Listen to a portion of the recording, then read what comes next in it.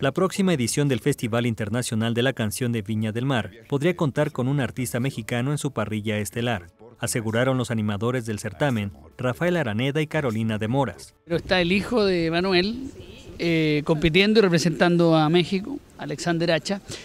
Pero ojo, hay tres artistas que aún no se confirman y no sabemos si alguno de ellos es mexicano o no. El Festival de Viña del Mar cumple 57 años de vida. Es definitivamente el festival a nivel hispanoparlante que tiene más trayectoria. La alcaldesa de Viña del Mar, Virginia Reginato, y autoridades del canal Chilevisión lanzaron el próximo festival.